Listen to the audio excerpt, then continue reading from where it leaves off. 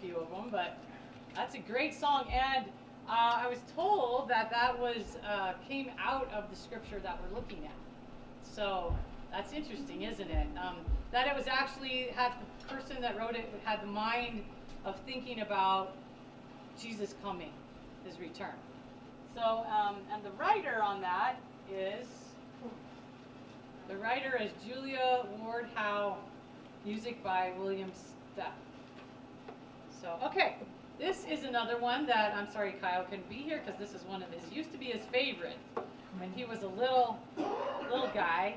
We haven't um, sung it in a really long time, but when he was in elementary school, this was his favorite song uh, done in church. So this is called "There's a Redeemer." You guys know this one.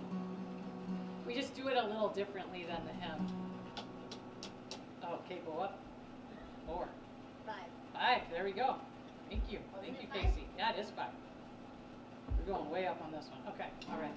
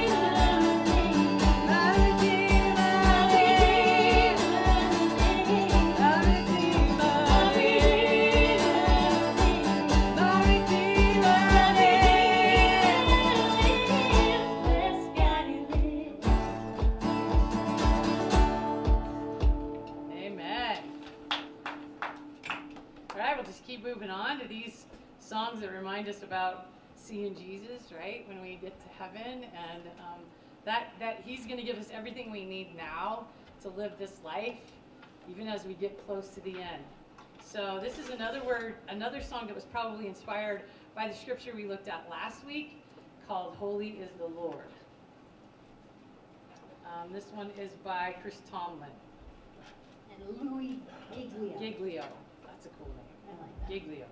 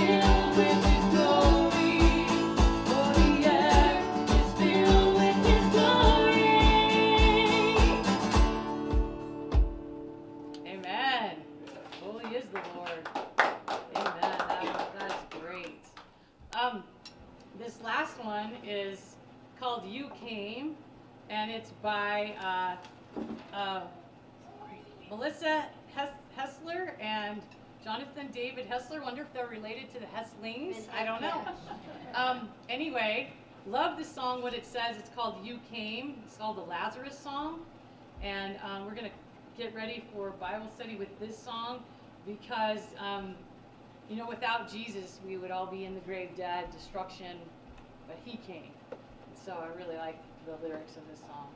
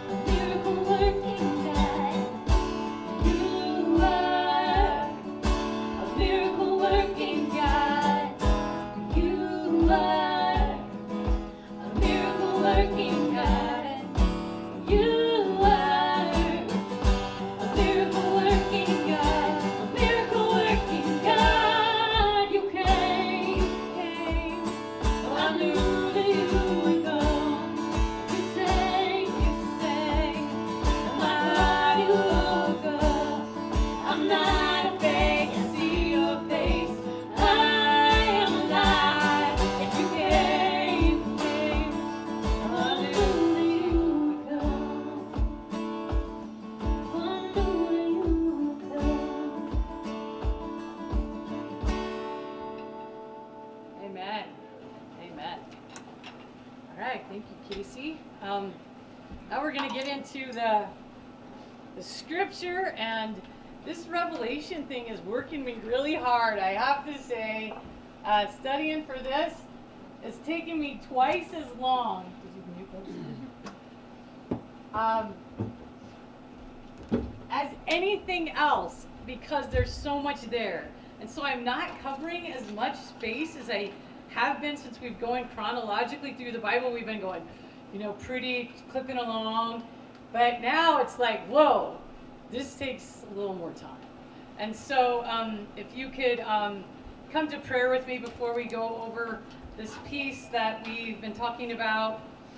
And, uh, and if you didn't get to see last week, the throne of God, um, go back and, and, and look at that so that you um, can go with us through this. So let's pray. Heavenly Father, we humbly seek your face. Um, on our knees we pray that we say nothing outside of your will, that we give you complete obedience as we explore your word. speak to our hearts with your Holy Spirit. In Jesus' name, amen. So, last week we did go over the throne of God as described by Revelations 4 and 5. Pretty amazing. Uh, go back and see it. And we talked about a little bit, I want to make a clarification uh, simply because my, my buddy Tim told me I wanted not to be confused, that we talked about how um, the tabernacle at the time and even the temple at one point imitated um, the throne of God. So there was the Holy of Holies and, and stuff. So in the Holy of Holies, uh, after Jesus died, the curtain tore, and uh, because God left the building, right?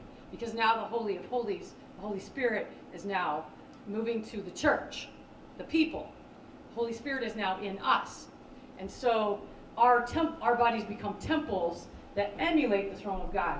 And the clarification is we are not the throne of God, but we should be temples where God is enthroned, right? So, in other words, we submit to the Holy Spirit, He lives in us. He is on the throne of our lives, right? He's on the throne, which is why Satan works so hard to get us to crawl back up there and pretend that we are there so that he can get us off track.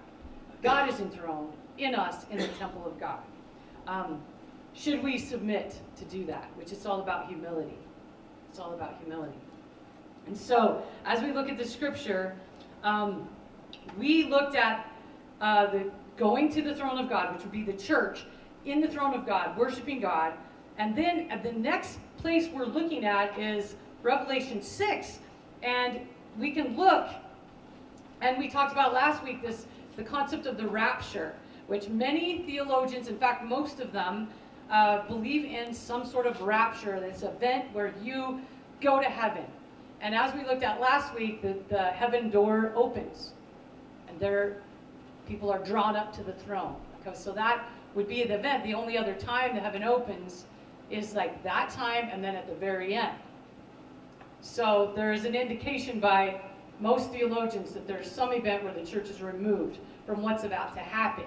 Now this verse, this, what we're looking at tonight in Revelation 6 is, is not pretty and it's not fun because it's what's going to happen then. And we're going to break it down. And of course, I just want to say ahead of time, there's multiple opinions on many things.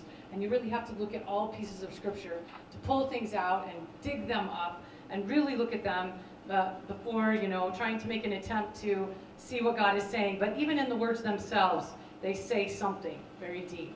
And so we're going to look at that. And there is some, why is there some confusion between the end of the world and rapture and tribulation and maybe the pre-tribulation and there's some confusion. But we do see several times in the bible that the bible speaks that um, there will be we will begin to see some events. So either way we will begin to see some events. Um, like i said most theologians believe the church is taking out taking out. And we gave several passages of scripture to support that. I do have friends who don't think that will be taken out. We're going to go all the way through to the end. But there's a lot of scripture and a lot of people that really hold to the fact that the church is removed. We're going to talk some of that about tonight.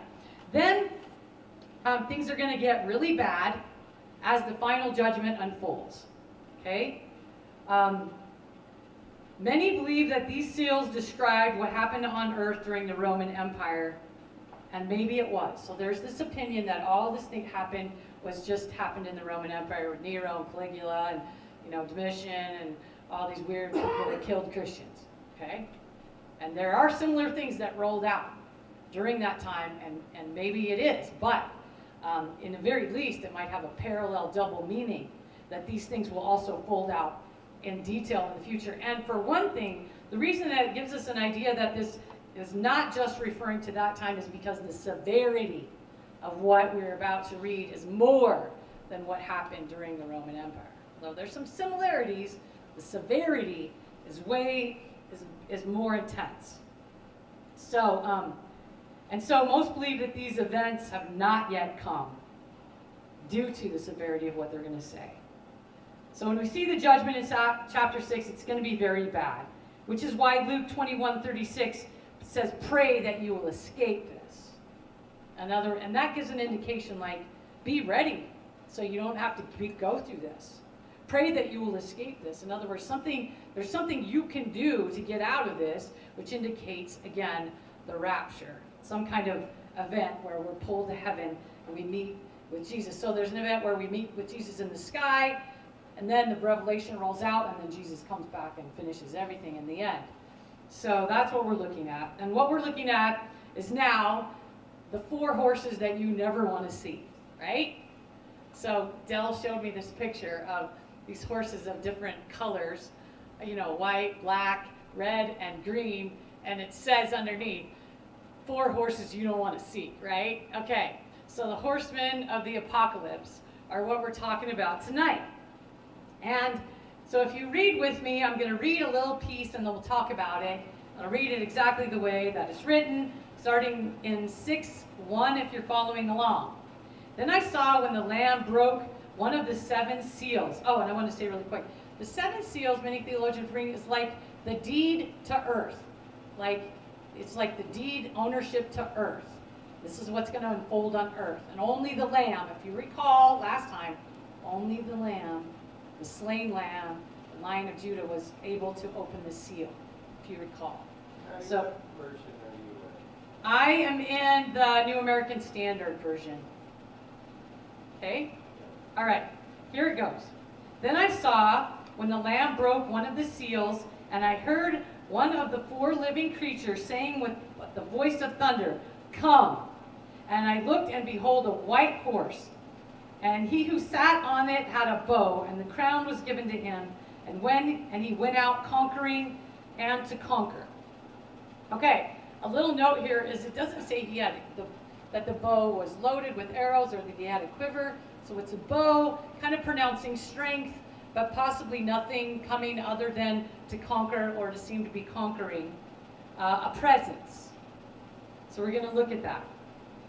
So um, in these days, you have to understand when John's writing this on the island of Patmos, um, and he's in exile, for him to see a horseman, that's significant because in those days, if you heard, if you were out in your field or in your village doing your work, and you heard the sound of thundering horses, you would stop and pay attention because that's when people die. And often, when people would come in war against others, there would be the sound of thundering hooves, and there they were. So people paid attention. So in those days, a horse was significant of people in power. And obviously, a horse has tremendous power and beauty. Horses are amazing creatures. And it is interesting to me that this is a horseman riding in on, on that. So we know that that something has happened here, and whatever it is, this is a great conqueror who seems to be celebrated in popularity. Maybe nothing bad is happening as a white horse, so maybe everybody thinks peace and prosperity. Maybe everybody thinks everything's okay. And a theologian I like to listen to named Skip Heitzig says that in the same way, when Hitler came in World War One, and I probably, I imagine that a lot of people thought the world was about to end about that time, if you think about it, because at first everyone liked Hitler, except for Winston Churchill. He was the only one going, hey, this is not cool, you know? And, and if you recall, um, Metaxas in the book Bonhoeffer talks about how all of the churches, most of the churches, not, but out of, oh, 13,000 churches, only 7,000 thought there was a problem with Hitler. And then that got to be less and less, you know? And here's Bonhoeffer, this young preacher going, don't listen, don't listen. Of course, he was executed. But anyway, if you recall, and if you recall, do you recall that even the Olympic Games were held in Berlin? It's like, and there was this protest back in the United States saying, should we go, should we not go? And then he kind of did this fake thing, even invited a Jewish girl to compete in the Olympics. Kind of acted, oh, everyone will be accepted. Everyone will be okay. This Jewish girl shows up for the German Olympics, and she was actually, I think she was a high jumper, I don't remember. But then, of course, at the last minute, she was not allowed to compete. So he just came across as, oh yeah, we're all cool, and everyone is really great. But only when we went to the Olympics did we really realize This is not a good thing. So um, I was just really happy that Jesse Owens won so many things. so, um, and several did, many other people of color and different ethnicities in that Olympics, which is great. Won many medals. So anyway, in the same way that Hitler came, just came booming out of nowhere and everyone thinks, great, great, great, um, this guy is going to come. And it won't be bad at first. Although if you think about um, the church being taken away, and um, and there will be some that that maybe will like, whoa, we missed it. And then there's quite a bit of controversy, like, will people be able to wake up and get saved? And I was listening to Chuck Smith today about that. He's like, I would love to think, you know, I feel like because of what's written in the scriptures, I think people will be able to wake up and get saved in the end, but they'll have to suffer a martyr's death. He said, you know, there's some scriptures, and we'll get to that, that kind of give an indication that maybe, maybe you won't get another chance if you had one. So Chuck Smith says, don't wait for that. I don't know, you know. And I agree. You don't want to. You don't want to wait around. Why would you wait when you're offered everything? But the world is just so lost, and some people are just gonna be like, "Man, I." Hopefully, they'll realize, not take the mark. But anyway, so the other things that we learn is that in this time, what is confusing is um, Scripture talks about in Thessalonians, Second Thessalonians two three if you want to, we're going to jump around a little, and I'm sorry, but we have to do this to unpack the scripture. Um, don't let anyone deceive you in any way, for the last day will not come until the rebellion. Some versions say the falling away. So, um, depending on what you're reading, there'll be a great falling away before the man of lawlessness is revealed, the man doomed to destruction. He will oppose and will exalt himself over everything that is God is that is called God or is worship, so that he sets himself up in the great temple, pro proclaiming himself to be God. Don't you remember when I was with you? I used to tell you these things. So, um, and now you know that what he's holding back, so that he may be revealed at the proper time. Oh, so now you know what is holding him back. Sorry, let's go back. Verse 6. And now you know what is holding him back, so that he may be re revealed in the proper time. For the secret power of the lawlessness is already at work, meaning the work of the devil has already happened. But something really big is going to happen. But the one who now holds him back will continue to do so till he is taken out of the way. And then the lawless one will be revealed, whom the Lord Jesus will overthrow with the breath of his mouth by the splendor of his coming. The coming of the lawlessness one, the lawless one, will be in accordance with the work of Satan, displayed in all kinds of counterfeit miracles, signs, and wonders, and every sort of evil that deceives those who are perishing. They will perish because they refuse to love the truth or so be saved. So here's the deal. People perish not because of their sin, but because they refuse to love the truth and be saved. They, refuse the remedy for sin. We were all sinners. We're all sinners. But we will perish if we refuse the remedy God provided. So for this reason, God sent them a powerful delusion so that they will believe the lie, so that all will be condemned who have not believed the truth, but have delighted in wickedness. But we ought to always thank God for you, brothers, loved by the Lord. Um, from the beginning, God chose you, and to be saved through the sanctifying work of the Holy Spirit through belief in truth. And this is confusing. It's like, well, if you're deceived, then how do you get judged? It says you walk into you walk into deception when you sin. It's like walking into a cave. And then the farther go that you go in, the darker it is. So when we don't listen to God, when we disobey the truth, we walk into this darkness that envelops and cloaks over us. Now, this is really what, what I'm bringing this up for beside to pull all the pieces of the scripture, some pieces of the scripture together, is to see that it's talking about the restrainer. Now, most theologians, again, believe that what's holding back the lawless one from being completely revealed is the Holy Spirit working in people, right? How does the Holy Spirit work on this earth? Through people. So, mo- uh, most theologians believe, and we talked about this when we went over Thessalonians, that the, the people are, the holy people of God are the restrainer. And so people are like, well, where's the, where's the Antichrist? Where, well, we, according to this, we, we won't know who he is because we'll be gone. If, if the holy people of God are the restrainer, and they're removed, and then, and that makes perfect sense. It makes perfect sense because the lawlessness, the lawless one, would not be able to come into power as long as the restrainer is present. Does that make sense? So, um, so, um, believing that something happens where goodness and the restraining, the, the Holy Spirit working here is removed, then the lawless one emerges. And that fits in together with this white horseman, the, the horseman on the white horse, because it seems like he's conquering, and at first everyone may like him, and they may think, oh, maybe he solved some problems. Um, because in several scriptures, which we'll review too, it will seem like peaceful times. It will seem like things are going well. And then, boom, something changes. So, again, in Hebrews 6 4, um, and so again, we're not, what are we accountable for? We're accountable to be submissive to the Holy Spirit no matter what happens, right? That's what we're accountable for, that we humbly seek God.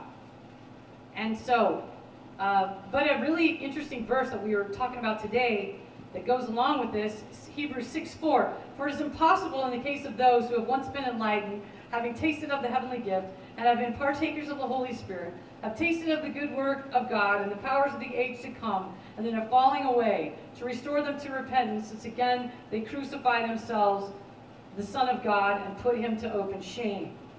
Now, obviously, um, God takes back people who stray.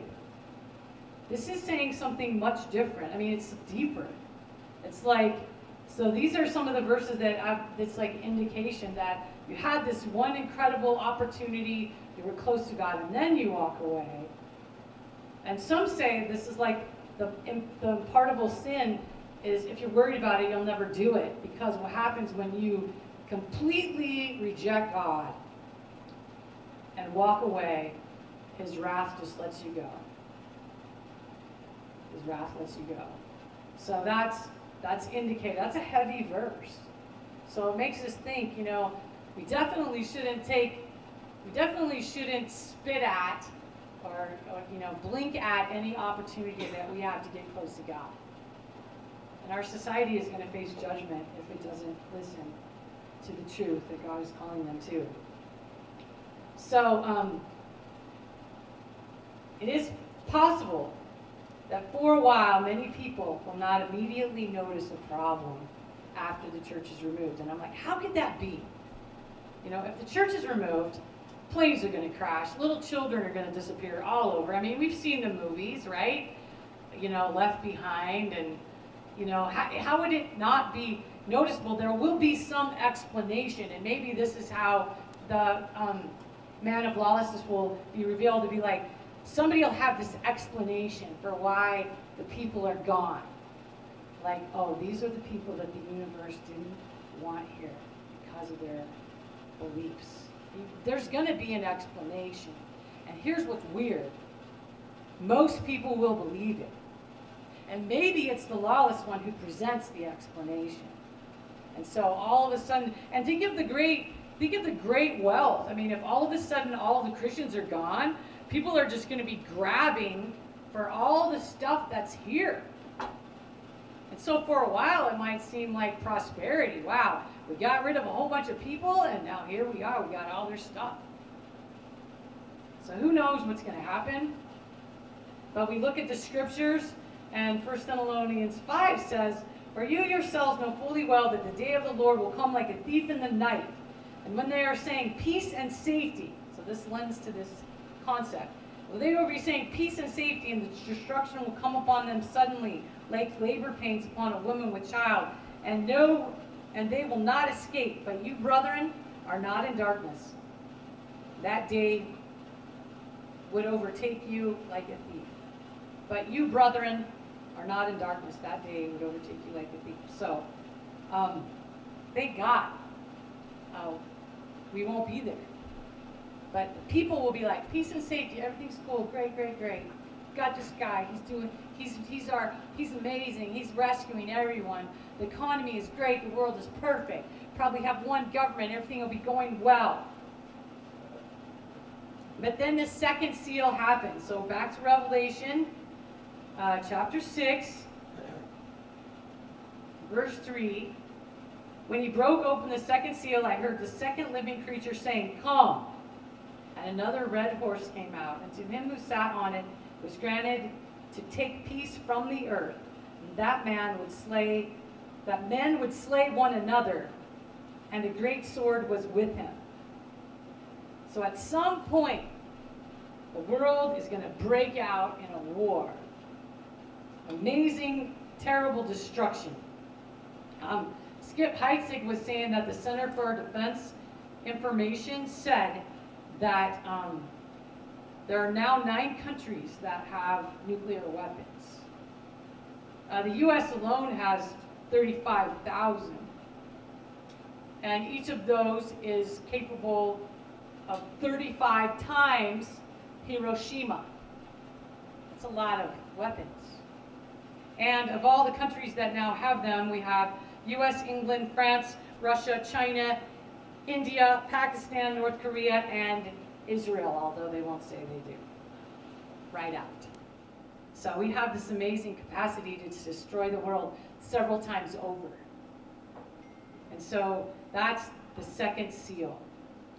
And then, right after that, comes the third seal, reading on. And when he broke the third seal, I heard the third living creature saying, Come! And I looked, and behold, the black horse who sat on it was a pair of scales in his hands. And I heard something like a voice in the center of the living creature saying, A quart of wheat for a denarius, and three quarts of barley for a denarius, or denarii, however you say it, and do not damage the oil and wine. So the scale reminds me of the writing on the wall. If you remember Daniel, this just, I know it means a lot of things, but one thing I remember as the writing on the wall in Daniel was um, Mene, Mene, Tekel, Upharsin. And so reading from Daniel, uh, I think it's 7, but I forgot to write the chapter, verse 25, it says, And this is the writing that was inscribed, Mene, Mene, Tekel, Parsin. And this interpretation of, mat, of the matter. Mene, God has numbered your days and your kingdom is brought to the end. Tekel, you have been weighed in the balances and found wanting. This is what I was thinking when I was reading this. And Peres, your kingdom will be divided between the Medes and the Persians. So what is happening in this third seal is now the wrath is unfolding. And if you know the meanings of, so not, so you're going to be measured in the balance, found wanting. And it's important to know that the equivalence they give for these measures is the amount that one soldier, the least amount that one soldier would get in one day's service of wheat. The very smallest ration that he would be allowed to eat when times were tough was this amount of wheat. And the amount that it's paid for is everything he would make that day. So in other words, you will pay you will pay every day only to eat.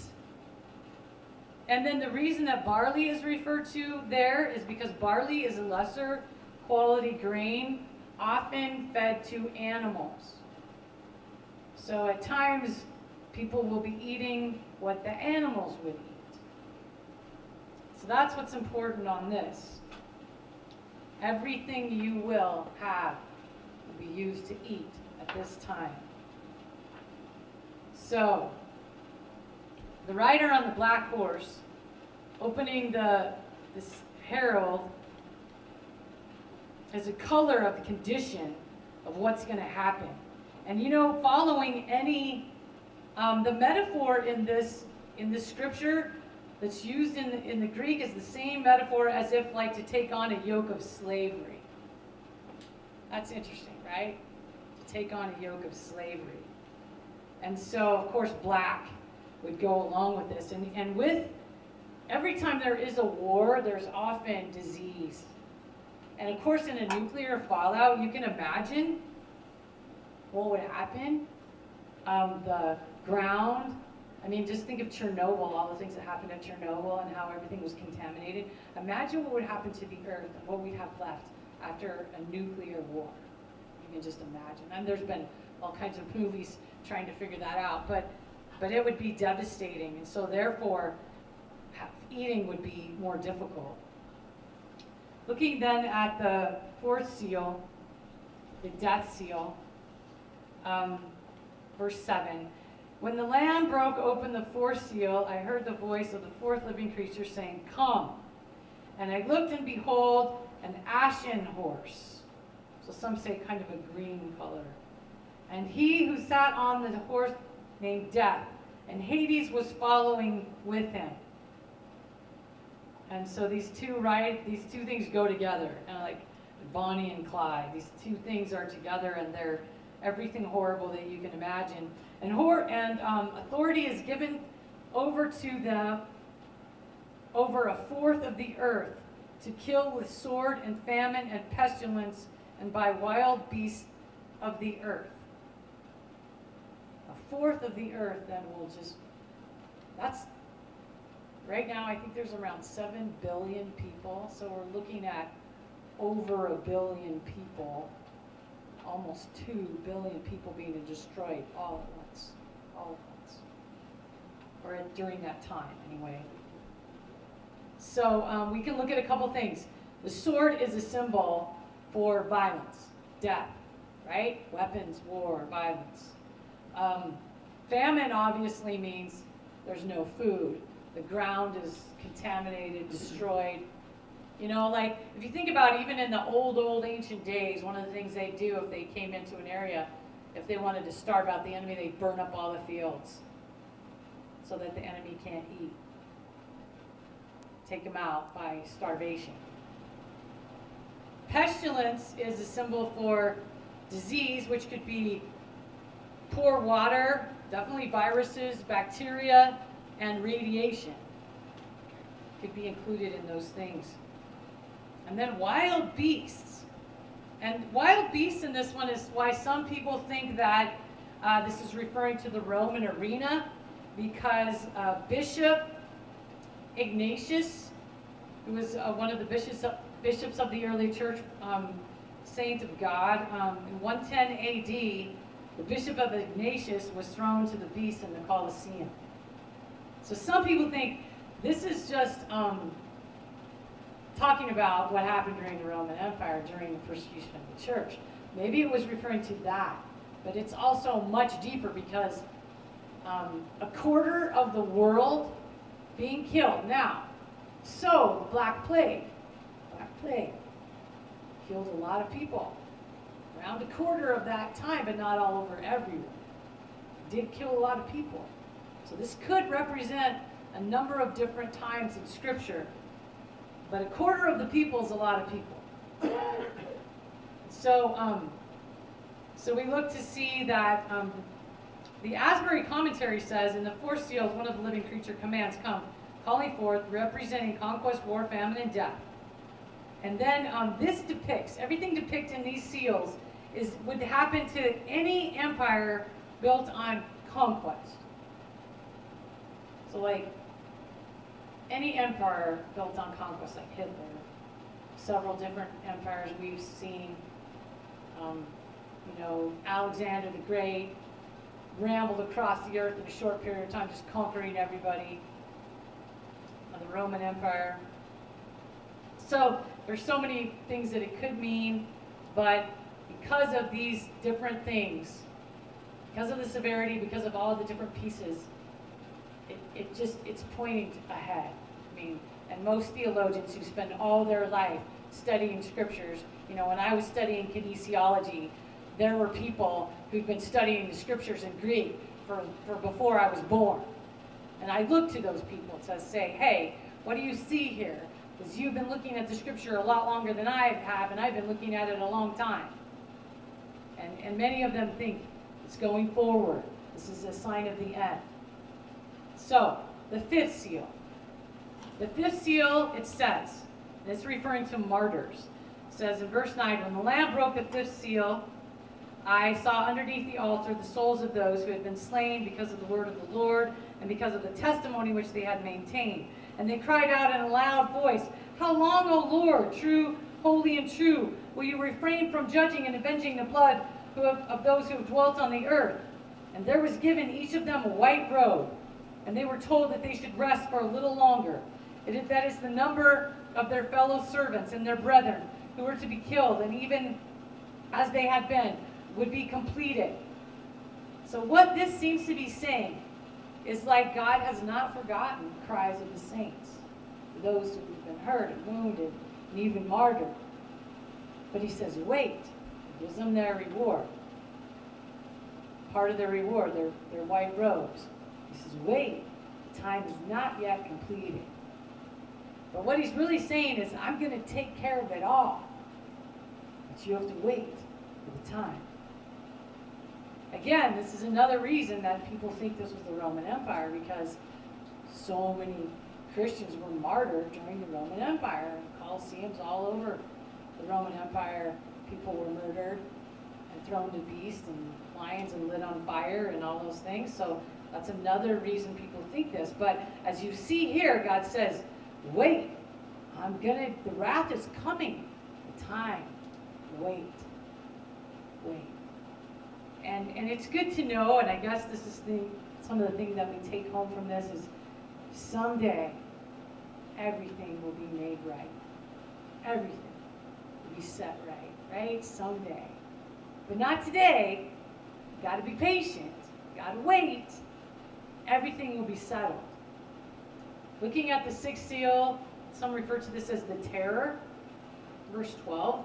I looked when he broke the sixth seal, and there was a great earthquake, and the sun became black as sackcloth made of hair, and the whole moon became like blood. And we've seen here when it's a fire, the moon like looks red, right? And even the sun looks red. But for the sun to look black, man, other than an eclipse, I haven't seen that. Black as sackcloth. That's that's like an eclipse, right? Um, and the stars of the sky fell to the earth, as a fig tree casts, casts its unripe figs when shaken by a great wind. And the sky was split apart like a scroll, and then it was rolled up, and every mountain and island were moved out of the, their places. And I was listening to Chuck Smith today. He's like, it's just really too bad because I was planning on spending the millennium in Hawaii. but anyway, this is an indicator that we have not seen this. We have not seen this. So look at it again. The sky will split apart like a scroll when it's rolled up. And every mountain and island were moved out of their places. Every mountain and island. And the kings of the earth and the great men and the commanders and the rich and the strong and every slave, free men, hid themselves in the caves along with the rocks and the mountains. In other words, there will be no separation between the rich and the poor in this moment. They will all be the same in fear. And they said, Say to the mountains and rocks, Fall on us, hide us from the presence of Him, capital Him, who sits on the throne, and from the wrath of the Lamb, for the great day of their wrath has come. And who is able to stand? We haven't seen that. People beg when every part of the earth is shaken and people beg to be covered by the mountains. That's that's crazy. That's I can't even imagine. Like just the other night driving home, I saw an unusual star fall from the sky, and it it, seemed like it was so big. It was like, what was that something that crashed? Because it went clear down and turned green at the end, and I was like, wow, this is, it was a meteor. It had to have been a meteor, but it got very close turned green at the end. It was very strange. And I was like, what was that? But if you could imagine looking out on the sky and having everything falling, that's something. That's a cosmic catastrophe. Um, there's a really good commentary on the end times. It's the African Bible commentary. They, uh, for whatever reason, it's a it's a, a Wesleyan commentary, but that African Bible commentary spent a great deal of time really poring over this section of scripture, and I found it very helpful in looking at that. But what we see here is that God's wrath comes on all who refuse to repent for their sins. And this goes from present, past, and to future. It is like a continuation of all time coming to a culminating event. And so that's really interesting. So the main themes here are you don't want to be around for the stampede, right? This is not a horseman you want to see. Um, because the sinful world will be judged. Will be judged. So we got to follow Jesus now. And the important thing is that God has promised to save the righteous. He's promised it. He is he has victory over death. He said that hundreds of times in scriptures that he has victory over death. God offers this salvation to all. If you look at Revelations 3:30, which we went over, behold I stand at the door and knock. If any man, person, hear my voice and open the door, I will come in to him and will sup with him and he with me. In other words, I will come in. If any man will surrender, any person will surrender, I will come in and have fellowship, permanent fellowship with that person. However, if you refuse this offer, you will not escape the wrath of God, and there will be no one but you to blame. Jesus himself warns us. Um, every time Jesus talked about the end times, he said, Be careful that you're not deceived. Every time he talks about the end, be careful that you're not deceived. He talks about these events. Um, and then the next few weeks, I'm going to stop here. We'll go to the next chapter. But in the next few weeks, when we look at these other pieces, there are other things that fold inside to this whole thing that happens. So if you look at the next chapter, it says, uh, the angels said, hold off, hold off. There's something that has to happen. We're going to look at that next week. We're not going to go there tonight. Um, but just remember, Jesus talking about his return. Jesus came from the temple, was going away with his disciples to the point to point out the temple buildings, and he said to them, Do you see these things? Truly I say unto you, not one stone will be left on another, which will all be torn down. So that was his prediction, which happened in 70 AD. The complete Jerusalem temple was torn down. And he goes on to talk about um, many things in the Mount of Olives. They say, Tell us, when will these things happen? And when is the sign of your coming? The people ask. When is the end of the age? They ask Jesus. And definitely, if there's anyone we want to listen to, it's Jesus. And he says this. And Jesus said, answered them and said, See to it that no one misleads you. For many will come in my name, saying, I am a Christ, and will mislead many. And you will be hearing of wars and rumors of wars. See to it that you are not frightened, for these things must take place. But that is not the end yet. For nation will rise against nation, and kingdom against kingdom. In various places where there will be famines and earthquakes. But all of these things are merely the beginning the birth pains. So I just wanted to point out that Jesus talked about many of these things in um, Matthew 24, if you want to look at that. So let's close in prayer. And just remember that, you know, these things are frightening to think about, but really, they're only frightening if you don't know Jesus. Because God has promised that we are delivered. We, we, God has promised that because of salvation, we will not see his wrath. He disciplines us, he works us, he uses us, we will not see his wrath. Thank Jesus, right? Heavenly Father, we thank you for the scripture. Uh, we thank for that, um, the messengers that you've sent to us over the courses of history. May we be diligent students to listen to you as we read the words that were given to us. Lord, we ask that we would humbly seek you and help us to be vessels to this world in darkness, that many will come to know you, that there will be a revival like that's happening in Asbury College right now, that that, re- that revival will spread across the nation among our young people, and the people will begin to see you. Lord Jesus, we pray that you would humble us, that we would seek God, that all the things happening now will bring us closer to you. Help us to know our place in building the wall that you have, the, the, the mission that each of us have. And we ask you in Jesus' name, we pray for those who are sick, we pray for those who are hurting, and um, help us to be a light in the darkness. We ask this in Jesus' name. Amen.